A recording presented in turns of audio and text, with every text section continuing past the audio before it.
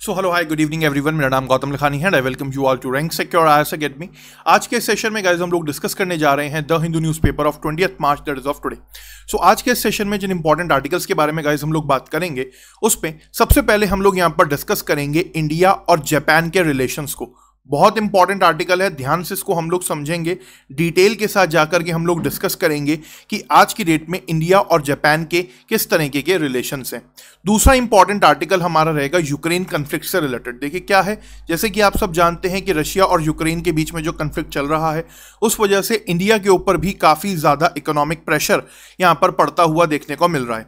सो अब कुछ नई चीज़ें भी सामने निकल करके आ रही हैं कि किस तरीके से जो हमारा ऑटोमोबाइल सेक्टर है सेमीकंडक्टर चिप्स हैं, उस पर क्या इम्पैक्ट पड़ेगा? तो वो भी यहाँ पर हम लोग देखेंगे। साथ ही साथ जो तीसरा इंपॉर्टेंट आर्टिकल आज के सेशन में हमारा रहेगा, उसके अंदर हम लोग बात करेंगे नेशनल फार्मास्यूटिकल प्राइसिंग अथॉरिटी के बारे में। जो हम लोग मेडिसिन वगैरह कंज्यूम करते हैं तो उनका प्राइजिंग मैकेनिज्म किस तरीके से तय किया जाता है, क्या रहता है, वो हम यहाँ पर डिस्कस करेंगे। साथ ही साथ हम लोग यहाँ पर बात करेंगे गोल्डन लंगूर के स्टेटस के बारे में। तो ये सब आर्टिकल्स को आज हम डिस्कस करने जा रहे हैं। चलिए शुरुआत करते हैं आज के हमारे सेशन की।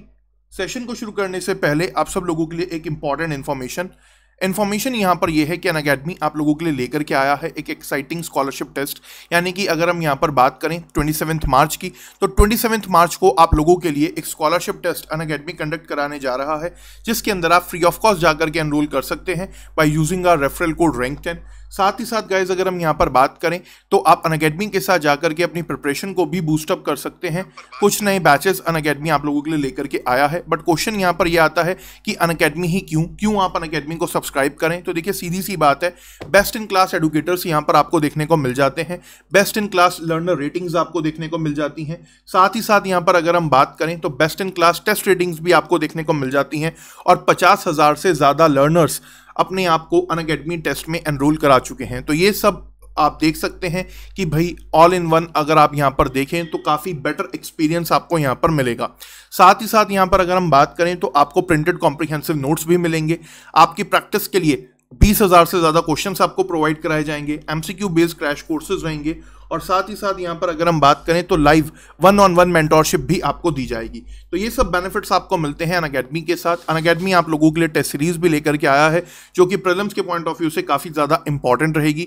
यहाँ पर आपको जनरल स्टडीज़ और सी के टेस्ट देखने को मिलेंगे। ट्वेंटी और ट्वेंटी एस्पिरेंट्स के लिए ये टेस्ट सीरीज़ रहेगी। काफ़ी ज़्यादा हेल्पफुल आपके लिए रहेगी। पचास हज़ार से ज़्यादा लर्नर्स इसमें अपने आप को एनरोल कर चुके हैं। साथ ही साथ यहाँ पर अगर हम बात करें तो अन अकेडमी आप लोगों के लिए कुछ सब्सक्रिप्शन प्लान भी लेकर के आया है, जो नए बैचेज हैं, यहाँ पर शुरू होने जा रहे हैं 2023 एस्पिरेंट्स के लिए। इंग्लिश और बाइलिंगल लैंग्वेज में रहेंगे वन ईयर के बैचेज हैं। स्टडी मटेरियल आपको बिल्कुल फ्री ऑफ़ कॉस्ट यहाँ पर मिलेगा। कुछ नए ऑप्शनल बैचेस भी शुरू होने जा रहे हैं। लोन की फैसिलिटी आप लोगों के लिए है ही। बाकी जब आप लोग यूज़ करोगे, हमारा रेफरल कोड रैंक टेन तो हमारा referral code rank ten use करने पर आपको एक्स्ट्रा टेन परसेंट का डिस्काउंट मिल जाएगा अन अकेडमी सब्सक्रिप्शन पर। बाकी अन अकेडमी आप लोगों के लिए एक free comprehensive interview guidance programme भी लेकर के आया है। जिन लोगों का भी इस बार मेंस का एग्ज़ाम क्लियर हुआ है तो मेंस एग्ज़ाम जिनका भी क्लियर हुआ है, उनके लिए एक फ्री और comprehensive interview guidance programme Unacademy लेकर के आया है। फ्री ऑफ़ कॉस्ट यहाँ पर आपको इंटरव्यू के लिए गाइड करा जाएगा। साथ ही साथ यहाँ पर अगर हम बात करें तो लास्ट ईयर भी हमने इस तरीके का प्रोग्राम करा था और 170 प्लस टॉपर्स का सिलेक्शन हमारे इस इंटरव्यू पैनल के थ्रू हुआ था। जब अगर हम पैनल की बात करें तो यहाँ पर आपको रिटायर्ड ब्यूरोक्रेट्स और सर्विंग ब्यूरोक्रेट्स देखने को मिल जाते हैं, जिनके पास एक रियल लाइफ एक्सपीरियंस है और जो मॉक इंटरव्यूज़ हैं, वो फ़र्स्ट वीक ऑफ़ अप्रैल से स्टार्ट होने जा रहे हैं। तो प्लीज़ जाएँ, जाकर के एनरोल करें ज्वाइन करें। अन अकेडमी का स्टोर ऑलरेडी ओपन हो चुका है दिल्ली के अंदर ओल्ड राजेंद्र नगर पूसा रोड पर। आप वहाँ पर भी जाकर के विज़िट कर सकते हैं, एक रियल लाइफ एक्सपीरियंस आप ले सकते हैं। तो प्लीज़ जाएँ, जाकर अन अकेडमी के साथ अपनी प्रिपरेशन को बूस्टअप करें। यूज़ करिएगा हमारा referral code rank ten for extra ten percent discount and to participate free of cost in scholarship test and daily quiz तो चलिए शुरुआत करते हैं आज के सेशन की, देख लेते हैं इंपॉर्टेंट न्यूज़ आर्टिकल जो कि आज के द हिंदू न्यूज़ पेपर के अंदर है और हमारे एग्ज़ाम के पॉइंट ऑफ़ व्यू से इंपॉर्टेंट है। देखिए न्यूज़ सबसे पहली जो यहाँ पर हमारे सामने है, वो है इंडिया और जापान के रिलेशन से रिलेटेड अगर हम बात करें जापान की तो देखिए जो जापान के प्राइम मिनिस्टर हैं फुइमो किशिदा वो इस टाइम पर इंडिया आए हुए हैं और इंडिया जब वो आए तो प्रधानमंत्री नरेंद्र मोदी जी से मुलाकात हुई। और इस मुलाकात के दौरान काफ़ी सारी चीज़ों पर डिस्कशन हुआ। यहाँ पर अगर हम बात करें तो इन्वेस्टमेंट्स के ऊपर भी बातचीत हुई। साथ ही साथ जो है एलएसी के इशू पर भी डिस्कशन हुआ। चाइना किस तरीके से क्या कुछ हरकतें कर रहा है, वो सब बातचीत यहाँ पर हुई। इसके अलावा रशिया के मामले पर भी उन्होंने बातचीत रखी। जैसे कि आप सब लोग जानते हैं कि अगर हम रशिया की बात करें तो रशिया को लेकर के जो जापान है, वो ऑस्ट्रेलिया और यूएस इन सब के साथ है। यानी कि कुल मिलाकर के जो जापान है, वो रशिया को अगे, रशिया के अगेंस्ट है। तो उन्होंने उस हिसाब से मोदी जी से वो बातचीत वगैरह भी करी, बट कुल मिलाकर के यहाँ पर अगर हम बात करें तो ये मीटिंग काफ़ी ज़्यादा इंपॉर्टेंट रही इंडिया और जापान के रिलेशंस के पॉइंट ऑफ़ व्यू से। अब देखिए क्या है कि अगर हम यहाँ पर बात करें इंडिया और जापान की, सबसे पहले आपको यह समझना होगा कि ये जो जापान के प्राइम मिनिस्टर इंडिया आए हैं इसके पीछे क्या कुछ इंपॉर्टेंट रीजंस हैं? यानी कि अगर हम स्ट्रेटेजिक रीजंस की बात करें तो स्ट्रेटेजिक रीजंस पहले आप समझिए, फिर उसके बाद हम इकोनॉमिक इंपॉर्टेंस की बात करेंगे कि आज की डेट में इंडिया और जापान की जो इकोनॉमिक इंपॉर्टेंस है, वो क्या है?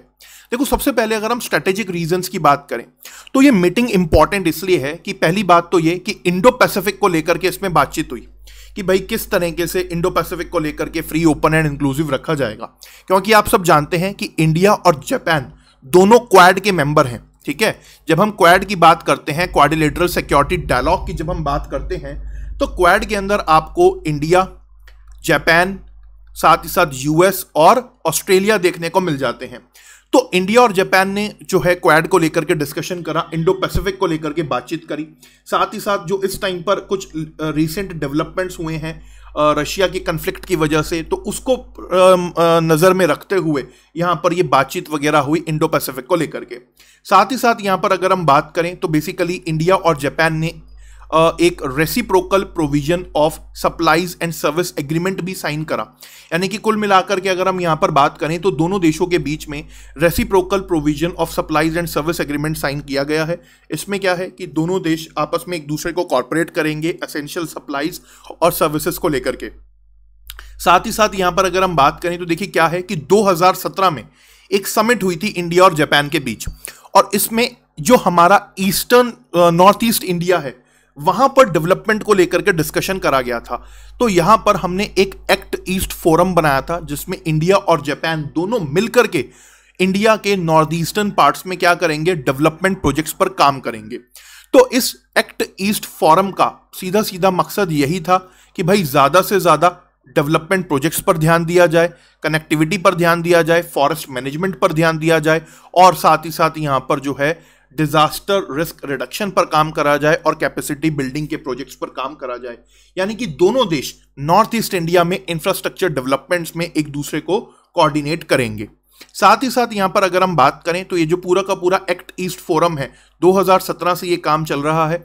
इसकी अगर हम यहाँ पर बात करें तो देखिए मेघालय, त्रिपुरा, मिजोरम, यहाँ इन सब एरियाज़ में हाईवेज वगैरह बनाने हैं। बेटर कनेक्टिविटी यहाँ पर पहुंचानी है। अगर हम बात करें लास्ट ईयर तो आपको ध्यान होगा कि लास्ट ईयर प्रधानमंत्री नरेंद्र मोदी जी ने असम और मेघालय के बीच में एक 20 किलोमीटर लंबा ब्रिज बना, बन रहा है जो ब्रह्मपुत्र रिवर पर उसकी भी फाउंडेशन रखी है। तो ये भी अपने आप में एक इंपॉर्टेंट है। ये क्या करेगा कि भाई नॉर्थ ईस्ट इंडिया में कनेक्टिविटी को बढ़ाएगा। साथ ही साथ अगर आपको याद हो तो 2021 में इंडिया, जापान और ऑस्ट्रेलिया तीनों देशों ने सप्लाई चेन रेजिलियंस इनिशिएटिव को साइन करा था। ये सप्लाई चेन रेजिलियंस इनिशिएटिव इसलिए साइन करा गया था क्योंकि अगर हम बात करें कोविड 19 की तो कोविड 19 के समय पर काफ़ी असेंशियल सप्लाईज की दिक्कत हो गई थी शॉर्टेज हो गई थी। तो in future Indo Pacific region में इस तरीके की प्रॉब्लम ना आए तो इंडिया जापान और ऑस्ट्रेलिया ने एक सप्लाई चेन रेजिलियंस इनिशिएटिव पर भी साइन करा था। तो उसको लेकर के भी डिस्कशन हुआ कि कैसे दोनों देश आपस में एक दूसरे को सप्लाई चेन्स में मदद करेंगे, किस तरीके से जो है यहाँ पर काम होगा। तो कुल मिलाकर के अगर हम यहाँ पर बात करें इस मीटिंग की तो स्ट्रेटेजिक पॉइंट ऑफ़ व्यू से ये मीटिंग काफ़ी ज़्यादा इंपॉर्टेंट थी। इन सब चीज़ों पर डिस्कशन वगैरह हुआ। साथ ही साथ देखो, अगर हम यहाँ पर बात करें इकोनॉमिकली जापान और इंडिया इकोनॉमिकली अगर आप देखें तो बहुत इंपॉर्टेंट रिलेशन शेयर करते हैं। यानी कि अगर हम इकोनॉमिक कॉम्पैक्ट कंपोनेंट को समझने की कोशिश करें, इंडिया और जापान के रिलेशंस के बीच तो दोनों देशों के लीडर्स ने ये टारगेट सेट करा है कि आने वाले पाँच साल के अंदर हम 42 बिलियन डॉलर्स का इन्वेस्टमेंट इंडिया में करेंगे। जापान का कहना है कि आने वाले पाँच साल में, यानी कि नेक्स्ट फाइव ईयर्स में, जापान क्या करेगा? 42 बिलियन डॉलर्स का इन्वेस्टमेंट इंडिया में करेगा। ये बात जापान ने कही है। तो दोनों देशों के बीच जो रिलेशंस है ना इंडिया और जापान के जो रिलेशंस है इन दोनों के रिलेशंस के बीच इकोनॉमिक कंपोनेंट काफ़ी इंपॉर्टेंट हो जाता है। अगर आप देखें तो जब प्रधानमंत्री नरेंद्र मोदी जी आ, मतलब मोदी जी जब सीएम से पीएम बने जब वो प्रधानमंत्री बने तो पहली बार वो जापान गए थे 2014 में। और जब वो 2014 में जापान गए तो उसके बाद से दोनों देशों के बीच में हमें काफ़ी एक इंपॉर्टेंट रिलेशंस डेवलप होते हुए देखने को मिले। काफ़ी सारे इंपॉर्टेंट डिसीजंस पर बातचीत हुई। उस टाइम पर जो है जापान के प्राइम मिनिस्टर हुआ करते थे शिंजो आबे तो काफ़ी चीज़ों पर उनसे बातचीत हुई। साथ ही साथ यहाँ पर अगर हम बात करें तो 2014 में दोनों देशों ने एक टारगेट सेट करा था कि भाई हम क्या करेंगे? इंडिया में जापान जो है three point five trillion Japanese yen public and private investment का टारगेट लेकर के चल रहा था कि हम इंडिया में 3.5 ट्रिलियन जापानीज येन इन्वेस्ट करेंगे। तो वो दोनों देशों ने काफ़ी हद तक इन्वेस्ट कर लिया है। आज की रेट की अगर हम यहाँ पर बात करें तो लगभग लगभग 1455 जापानीज कंपनी इंडिया में काम कर रही हैं। जापान ने इंडिया के अंदर इंडस्ट्रियल टाउनशिप भी इस्टेब्लिश करी है नीम राणा राजस्थान और श्री सिटी आपका आंध्र प्रदेश के अंदर। साथ ही साथ अगर हम बात करें फॉरेन डायरेक्ट इन्वेस्टमेंट की तो जापान इंडिया के अंदर फिफ्थ लार्जेस्ट सोर्स है फॉरेन डायरेक्ट इन्वेस्टमेंट का। यानी कि जापान से काफ़ी ठीक ठाक फॉरेन डायरेक्ट इन्वेस्टमेंट इंडिया में आता है। साथ ही साथ काफ़ी सारे इंफ्रास्ट्रक्चर प्रोजेक्ट्स हैं जिसमें हम जापान के साथ मिलकर के काम कर रहे हैं। जैसे कि अहमदाबाद और मुंबई के बीच में जो बुलेट ट्रेन बनाई जा रही है, उसमें भी यहाँ पर जापान हमारी मदद कर रहा है। साथ ही साथ जो हमने डेडिकेटेड फ्रेट कॉरिडोर्स बनाए हैं रेलवेज के लिए, उसमें जापान हमारी मदद कर रहा है। बाकी काफ़ी सारे मेट्रो प्रोजेक्ट्स हैं, जैसे चेन्नई मेट्रो प्रोजेक्ट हो गया, उसमें जापान हमारी मदद कर रहा है। तो बहुत सारी चीज़ों में जापान हमारी मदद भी कर रहा है इकोनॉमिकली अगर आप देखें तो। साथ ही साथ यहाँ पर अगर हम बात करें डिजिटल पार्टनरशिप की तो जैसे कि आपको पता है कि इंडिया आज की डेट में एक डिजिटल रेवोल्यूशन कर रहा है देश के अंदर। तो हमारे यहाँ पर 2018 में दोनों देशों ने डिजिटल पार्टनरशिप भी साइन करी थी। और जैसे कि आप जानते हैं कि प्रधानमंत्री नरेंद्र मोदी जी स्टार्टअप कल्चर को प्रमोट करने पर काफ़ी ज़्यादा ज़ोर देते हैं। तो इंडिया के काफ़ी सारे स्टार्टअप्स को जापान की तरफ़ से इन्वेस्टमेंट भी मिला। लगभग लगभग 10 बिलियन यूएस डॉलर्स का इन्वेस्टमेंट इंडिया के स्टार्टअप्स में जापान ने करा है। साथ ही साथ यहाँ पर अगर हम बात करें तो दोनों देश के जो प्राइवेट सेक्टर है टेक्नोलॉजी में 100 मिलियन डॉलर्स का इन्वेस्टमेंट हो चुका है। तो एक ठीक ठाक रिलेशंस आज के डेट में हम दोनों देशों के बीच में देखते हैं। साथ ही साथ क्या है कि चाहे 5G का एरिया हो गया हो या अंडर सी केबल हो गया हो हो गया हो, इसमें भी जापान हमारी मदद कर रहा है। तो कुल मिलाकर के इंफॉर्मेशन कम्युनिकेशन एंड टेक्नोलॉजी में भी जापान हमारी काफ़ी ज़्यादा कॉपरेशन कर रहा है, काफ़ी ज़्यादा हमारी मदद कर रहा है। साथ ही साथ स्किल डेवलपमेंट में भी जापान हमें काफ़ी ज़्यादा सपोर्ट कर रहा है। स्किल डेवलपमेंट की अगर हम यहाँ पर बात करें तो आज की डेट में इंडिया के अंदर 19 Japan institute of manufacturing established हैं। ये इंस्टीट्यूट्स क्या करते हैं? ये इंस्टीट्यूट्स जो हैं जापानीज कंपनी ने इंडिया में लगाए हैं। यहाँ पर वर्कर्स को ट्रेनिंग दी जाती है स्किलिंग दी जाती है स्किल्ड काम के लिए उन्हें ट्रेन करा जाता है। साथ ही साथ यहाँ पर अगर हम बात करें तो अब तक लगभग लगभग 220 इंडियंस को जापान में नौकरियाँ भी मिली हैं। तो दोनों देशों के बीच में जब हम बात करते हैं इकोनॉमिक रिलेशंस की तो एक बहुत ही ठीक ठाक इकोनॉमिक रिलेशंस दोनों देशों के अंदर हमें देखने को मिलते हैं। और यही जो इकोनॉमिक रिलेशंस है, दोनों देशों के बीच में एक मज़बूत बायोलेटरल लिंक स्टैब्लिश करते हैं। तो ये था यहाँ पर इंडिया और जापान के रिलेशंस के बारे में, और हमने यहाँ पर डिस्कस करा कि जो ये Japanese prime minister Kishida Fumio Kishida India जो आए हैं, ये विज़िट क्यों इंपॉर्टेंट है? इसको हमने देखा और समझने की कोशिश करी। कोई डाउट आपका यहाँ पर है तो प्लीज़ पूछ लीजिए। डाउट नहीं है, चीज़ें क्लियर हैं तो make sure to like the video video को लाइक ज़रूर करें आप लोग, अगर आपने अभी तक लाइक नहीं किया है, अब चलते हैं आगे की तरफ़ और बात करेंगे अनदर इंपॉर्टेंट न्यूज़ की। Another important news is related to Kashmiri pandits क्या है न्यूज़ ध्यान से इसको समझने की हम कोशिश करेंगे। देखिए गाइस क्या है? जैसे कि आप सब लोग जानते हैं कि 1990s में हमने क्या देखा कि कश्मीर से काफ़ी सारे कश्मीरी पंडित और काफ़ी सारे कश्मीरी मुस्लिम्स का माइग्रेशन हुआ। क्योंकि जब बात आती है कश्मीर की 1990 के आसपास तो उस टाइम पर लगभग लगभग 64,827 माइग्रेंट फैमिलीज़ जम्मू कश्मीर के अंदर हमें देखने को मिली। क्योंकि उस टाइम पर क्या था कि terrorism was at its peak in Jammu Kashmir. Extremism बहुत ज़्यादा था। पाकिस्तानी स्पॉन्सर्ड टेररिज्म काफ़ी ज़्यादा था उस एरिया में, जिस वजह से क्या हुआ कि बहुत बड़े नंबर में हम क्या देखते हैं कि कश्मीर के लोगों को माइग्रेंट करना पड़ा, जिसमें कश्मीरी पंडित्स की भी काफ़ी सारी फैमिलीज़ थी। और अगर हम बात करें टोटल एरिया की तो पार्लियामेंट्री पैनल की ये रिपोर्ट है पार्लियामेंट की ये रिपोर्ट है जिसमें लिखा गया है कि भाई 64,827 रजिस्टर्ड माइग्रेंट फैमिलीज़ हैं जम्मू कश्मीर के अंदर। और इसमें 60,000 जो हैं वो हिंदू फैमिलीज़ हैं और 2600 मुस्लिम फैमिलीज़ हैं और 1700 सिख फैमिलीज़ हैं। यानी कि कुल मिलाकर के अगर हम यहाँ पर बात करें तो हम क्या देखते हैं कि 1990 में काफ़ी बड़े लेवल पर कश्मीर से हिंदू मुस्लिम और सिख फैमिलीज़ को माइग्रेंट करना पड़ा था। Because of the terrorism and all that extremism which was happening in Kashmir during that time अब देखिए क्या हुआ कि यहाँ पर अगर हम बात करें इन 64,000 फैमिलीज़ की तो ये जो 64,827 फैमिलीज़ हैं इसमें 43,494 फैमिलीज़ जो हैं वो जम्मू में रजिस्टर्ड हैं 19,338 फैमिलीज़ जो हैं वो दिल्ली में रजिस्टर्ड हैं और 19 1995 फैमिलीज़ जो हैं वो बाकी स्टेट्स और यूनियन टेरिटरीज में रजिस्टर्ड हैं। अभी भी लगभग लगभग 5200 फैमिलीज़ ऐसी हैं जिनके, जो कि माइग्रेंट कैंप्स में रह रही हैं। आप देख सकते हैं कि भाई इस इंसिडेंट को हुए हुए, इस अनफॉर्चुनेट इंसिडेंट को हुए हुए थर्टी ईयर्स से ज़्यादा हो गए हैं but still there are more than fifty two hundred families जो कि अभी भी कहीं ना कहीं माइग्रेंट कैंप्स के अंदर रह रही हैं। तो ये नंबर अपने आप में काफ़ी बड़ा हो जाता है। अब देखिए क्या है कि आजकल जो ये कश्मीरी पंडित्स का मामला है, वो काफ़ी ज़्यादा मतलब लाइमलाइट में है, आप कह सकते हैं, क्योंकि अभी मूवी आई है कश्मीर फाइल्स तो उसको लेकर के ना काफ़ी ज़्यादा ये इशू इस टाइम पर सेंसिटिव हो रखा है। मतलब काफ़ी ज़्यादा ये इशू जो है लोगों की जबां पर है, बातचीत हो रही है।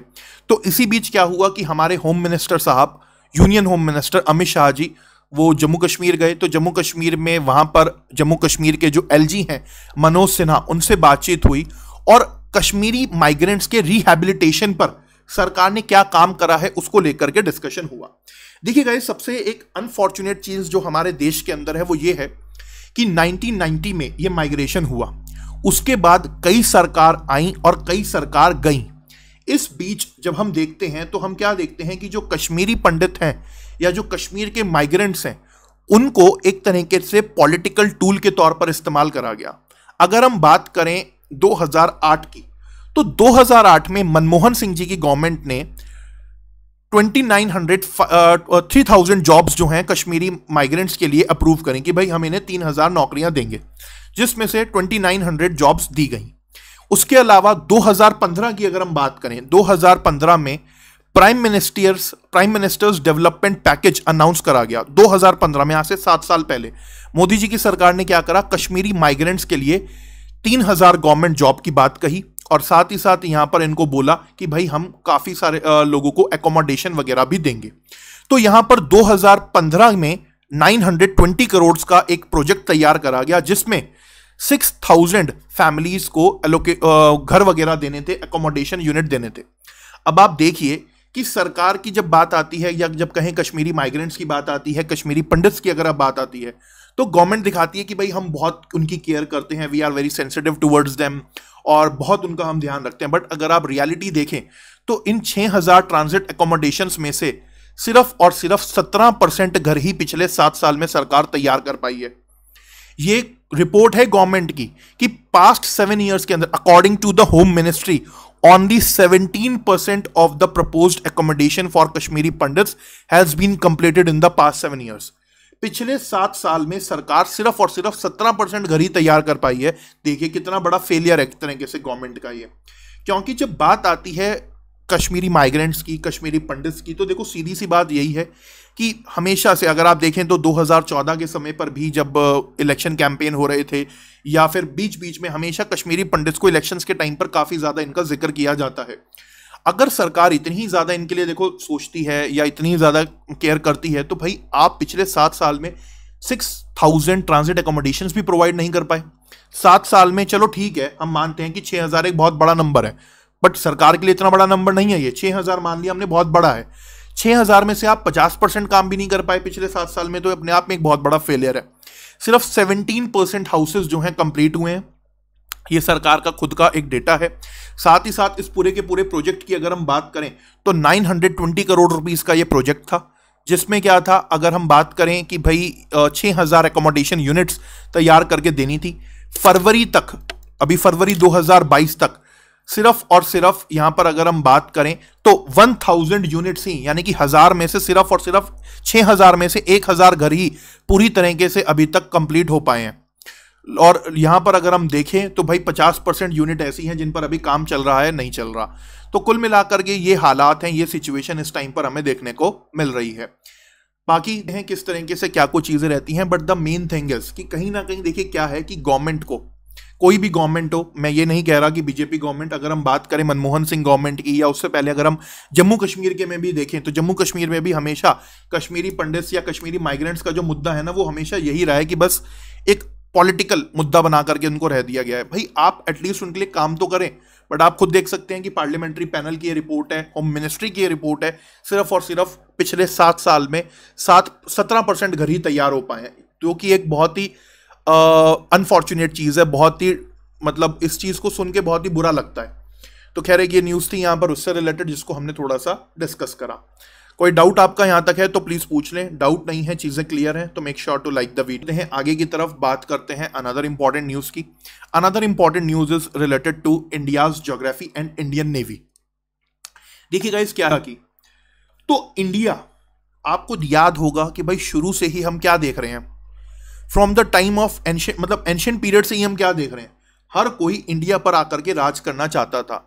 चाहे इंडो ग्रीक्स हो गए हों, चाहे शक हो गए हों, कुषाण हो गए हों, उसके बाद भी अगर आप देखें तो फिर किस तरीके से हमें तुर्क्स आते हुए देखने को मिले, अफगान आते हुए देखने को मिले, साथ ही साथ मुगल्स आए, फिर उसके बाद अंग्रेज़ आए मतलब यूरोपियंस आए।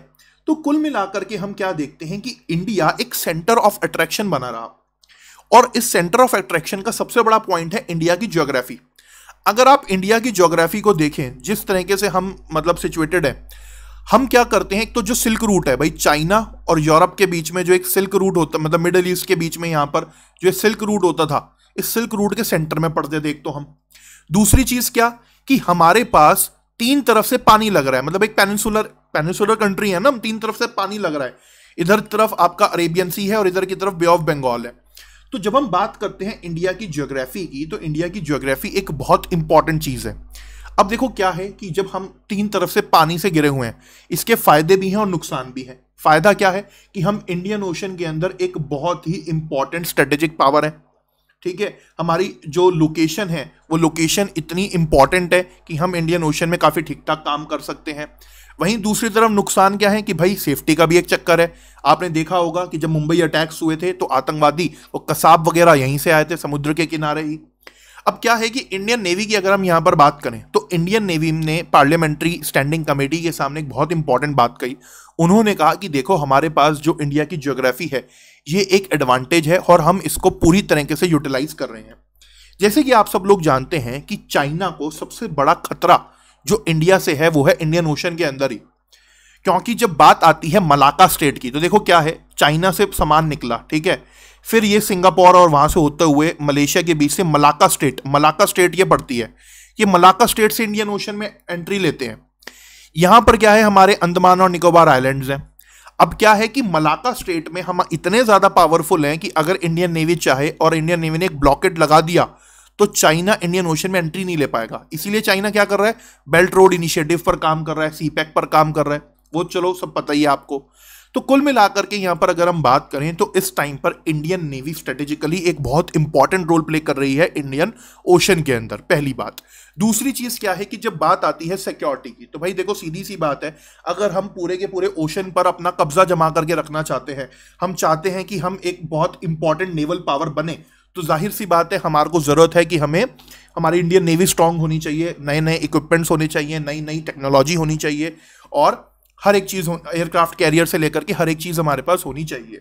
हमारे देश के आगे चाइना से जो सबसे बड़ा चैलेंज था, वो था सबमरीन्स जब हम सबमरीन्स की बात करते हैं तो देखिए क्या प्रॉब्लम है कि हमारे देश में चाइना के कंपैरिजन में जो सबमरीन्स है, वो काफ़ी कम है। मतलब अगर आप चाइना से कंपेयर करें तो चाइना से काफ़ी कम सबमरीन्स हमारे पास है। एक यही सबसे बड़ी प्रॉब्लम हमारे सामने थी। तो इंडियन नेवी और भारत सरकार ने उसका सॉल्यूशन क्या निकाला कि हमने अमेरिका से P eighty one long range maritime patrol aircraft खरीद लिए। ये जो P eighty one long range maritime patrol aircraft है, इनका मेन मकसद क्या है कि ये एंटी सबमरीन वारफेयर में काम आते हैं। सपोज़ करके चलिए कि कल को चाइना का कोई सबमरीन इंडियन ओशन में घूम रहा है तो ये जो P eighty one long range maritime patrol aircraft है, ये उस सबमरीन को ट्रैक कर लेगा कि भैया यहाँ पर चाइना का सबमरीन घूम रहा है इंडियन ओशन में। और अगर ज़रूरत पड़े तो ये उस सबमरीन को खत्म भी कर सकता है। मतलब एक मिसाइल निकल करके जाएगी और वो सबमरीन खत्म। तो इंडियन नेवी ने इस तरह के बारह twelve P eighty one long range long range maritime patrol aircraft जो हैं इंडक्ट कर लिए हैं। साथ ही साथ यहाँ पर अगर हम बात करें तो M H six sixty R multi role helicopters पर भी बातचीत चल रही है। तो कुल मिलाकर के इंडियन नेवी एक बहुत ही इंपॉर्टेंट रोल इस टाइम पर प्ले कर रही है इंडियन ओशन में। स्ट्रेटेजिकली काफ़ी इंपॉर्टेंट रोल यहाँ पर प्ले करा जा रहा है। और ज्योग्राफी इंडिया की जो ज्योग्राफी है, उसमें एक इंपॉर्टेंट एडवांटेज इनको दे रही है। और यही बातें पार्लियामेंट्री स्टैंडिंग कमेटी के सामने रखी भी गई, ठीक है? तो कोई डाउट आपका यहाँ तक तो प्लीज़ पूछ लें आप। डाउट नहीं है, चीज़ें क्लियर है तो make sure to like the video अब बात करते हैं अनदर इंपॉर्टेंट न्यूज़ की and this news is related to golden langur habitat देखिए गाइज़ मैं मान करके चलता हूँ कि आप लोगों ने लंगूर तो देखा ही होगा। बंदर जैसा होता है देखने में बट क्या है कि जो लंगूर होता है, वो वाइट कलर का होता है फेस उसका एकदम ब्लैक होता है, लंबी पूछ होती है। जो टेल होती है लंगूरों की, वो काफ़ी लंबी होती है। मतलब compare to monkeys compare to monkeys इनकी जो टेल है, वो काफ़ी लंबी रहती है। अब देखिए सीधी सी बात यहाँ पर क्या आ रही है? बात यहाँ पर यह है कि अगर हम बात करें गोल्डन लंगूर की तो इनका नाम गोल्डन इसलिए है क्योंकि इनका जो फर होता है, ये गोल्डन कलर के होते हैं। ये फ़ोटो में आप देख भी सकते हो। तो गोल्डन लंगूर की अगर हम बात करें तो ये पाए कहा जाते हैं? ये भूटान और इंडिया का जो बॉर्डर है ना, जो असम वाला एरिया है, उस एरिया में हमें देखने को मिलते हैं। अब देखो क्या है कि यहाँ पर अगर हम बात करें लंगूरों की, गोल्डन लंगूर्स की तो गोल्डन लंगूर एक वैसे ही एंडेंजर्ड प्राइमेट स्पीशी हैं। यानी कि अगर हम इनके आयुसियन स्टेटस की बात करें तो एंडेंजर्ड इनका स्टेटस है। अब क्या हो रहा है कि पिछले कुछ ईयर्स के अंदर हम क्या देख रहे हैं कि एक स्टडी सामने निकल करके आई है, जिसमें पता लग रहा है कि जो गोल्डन लंगूरों लंगूर्स का हैबिटेट है, वो लगातार डिक्लाइन कर रहा है। क्या है कि जब हम बात करते हैं इंडिया और भूटान के एरिया की तो असम का जो खास तौर पर रीजन है, ये आपका डुबरी वाला एरिया डुबरी, बंगोई गाँव, ये वाला जो एरिया है, यहाँ पर ये गोल्डन लंगूर हमें देखने को मिलते हैं। अब क्या था कि इनका लगातार हैबिटेट जो है डिक्लाइन कर रहा है और उसके पीछे काफ़ी सारे रीजंस है कि भाई धीरे धीरे एक तो पॉपुलेशन बढ़ रही है, जंगल काटे जा रहे हैं। दूसरी चीज़ क्या है कि जो ये एरिया है, असम का बंगोई गाँव डिस्ट्रिक्ट वाला एरिया यहाँ पर एक कंकोई जना रिज़र्व फॉरेस्ट भी हुआ करता है। साथ ही साथ यहाँ पर अगर हम बात करें तो असम गवर्नमेंट ने कहा भी था कि चलो भाई इसको एक वाइल्ड लाइफ सेंचुरी बना देते हैं बट उसको लेकर के भी यहाँ पर काफ़ी ज़्यादा बवाल हुआ तो वो वाइल्ड लाइफ सेंचुरी नहीं बनाई गई। अब प्रॉब्लम क्या है कि जो मानस नेशनल पार्क पड़ता है असम के अंदर, मानस नेशनल पार्क में इनकी काफ़ी ठीक ठाक पॉपुलेशन है बट प्रॉब्लम ये आ रही है कि वहाँ पर भी लगातार इनकी पॉपुलेशन फ़िलहाल डिक्लाइन कर रही है। तो ये एक स्टडी सामने निकल करके आई है, जिसको हमने यहाँ पर डिस्कस करा। तो कोई डाउट आपका यहाँ तक है तो प्लीज़ पूछ लें आप। डाउट नहीं है, चीज़ें क्लियर हैं तो make sure to like the video video को लाइक ज़रूर करें आप प्लीज़ अगर आप लोगों ने अभी तक लाइक नहीं किया है, क्योंकि आपके लाइक करने से हमें एक मोटिवेशन मिलता है तो वीडियो को लाइक ज़रूर करें प्लीज़ अब चलते हैं, बात करते हैं अनदर इंपॉर्टेंट न्यूज़ की and this news is related to Ukraine and semiconductor chips semiconductor chips के बारे में तो आपको पता ही है कि क्या होती हैं। जब हम बात करते हैं इलेक्ट्रॉनिक कंपोनेंट्स की चाहे आप मोबाइल यूज़ कर रहे हैं, चाहे आप ब्लूटूथ ईयरफोन्स यूज़ कर रहे हैं, चाहे आप लैपटॉप यूज़ कर रहे हैं, या आप कोई गाड़ी चला रहे हैं मतलब ऑटोमोबाइल यूज़ कर रहे हैं, हर चीज़ में सेमीकंडक्टर चिप्स का इस्तेमाल करा जाता है। सेमीकंडक्टर चिप्स जो हैं, वो एक बहुत इंपॉर्टेंट होती हैं इलेक्ट्रॉनिक्स कंपोनेंट्स के लिए। अब क्या है कि सेमीकंडक्टर चिप्स में शॉर्टेज काफ़ी लंबे समय से आ रखी है। जब से कोविड नाइन्टीन हुआ है तभी से हम क्या देख रहे हैं सेमीकंडक्टर चिप्स की शॉर्टेज बनी हुई है। क्यों? क्योंकि ये जो चिप्स हैं, ये चाइना, ताइवान और साउथ कोरिया, यहाँ पर सबसे ज़्यादा बनती है। यानी कि पूरा का पूरा जो वर्ल्ड है, वो इन तीन कंट्रीज़ से सेमीकंडक्टर चिप्स खरीदता है। बट हुआ क्या? कोरोना की वजह से जैसे ही दिक्कत परेशानी आई सप्लाई चेन ब्रेक हुई तो भाई चाइना, ताइवान और ताइवान और साउथ कोरिया से सेमीकंडक्टर चिप्स मिलने में दिक्कत हो गई थी। चलो ठीक है, कोई बात नहीं, हुई तो हुई। अब इंडिया ने क्या करा? इंडिया ने भी और बाकी कंट्रीज़ ने भी सेमीकंडक्टर चिप्स की मैन्युफैक्चरिंग के लिए काम करना शुरू करा। और भारत सरकार ने सेमीकंडक्टर चिप मिशन की शुरुआत करी कि भाई हम इंडिया में सेमीकंडक्टर चिप्स को बनाएँगे और इसका प्रोडक्शन करेंगे मैन्युफैक्चरिंग करेंगे। बट देखो सीधी सी बात है मैन्युफैक्चरिंग करने के लिए भी रॉ मटेरियल तो चाहिए। अब रॉ मटेरियल कहाँ से आएगा? तो रॉ मटेरियल का जो मेन सोर्स है सेमीकंडक्टर चिप्स की जब हम बात करते हैं तो सेमीकंडक्टर चिप्स का जो रॉ मटेरियल है, जिसमें आप देख सकते हैं कि भाई नियन गैस का इस्तेमाल किया जाता है पलेडियम का इस्तेमाल किया जाता है, साथ ही साथ जो हैं और भी काफ़ी सारे रॉ मटेरियल्स में चीज़ों का इस्तेमाल करा जाता है। अब ये जितनी भी चीज़ें हैं जितने भी की मेटल्स हैं, चाहे निकल हो गया प्लेटिनियम हो गया टाइटेनियम हो गया नियन गैस हो गई, या कह लीजिए आप पलेडियम हो गया, ये सब के सब यूक्रेन और रशिया के पास है। यानी कि ये जो दो कंट्री हैं, यूक्रेन और रशिया, ये सेमीकंडक्टर्स के रॉ मटेरियल में की रोल प्ले करती हैं। यानी कि सब वर्ल्ड का जो 70 परसेंट नियन गैस है और नियन गैस की जो डिमांड है, वो सिर्फ़ और सिर्फ़ यूक्रेन और रशिया के पास ही है। और इनके पास रेयर एलिमेंट्स भाई देखो ये तो मेटल्स हैं, है ना? ये एलिमेंट्स हैं जो हमें अर्थ के अंदर देखने को मिलते हैं, चाहे निकल की बात करें आप टाइटेनियम की बात करें, ये सब क्या है? इनके रिजर्व्स रशिया और यूक्रेन पे ही हैं। अब रशिया यूक्रेन की वजह से क्या हो रहा है? इनके बीच में कन्फ्लिक्ट चल रहा है। अब यहाँ पर रॉ मटेरियल की शॉर्टेज हो रही है।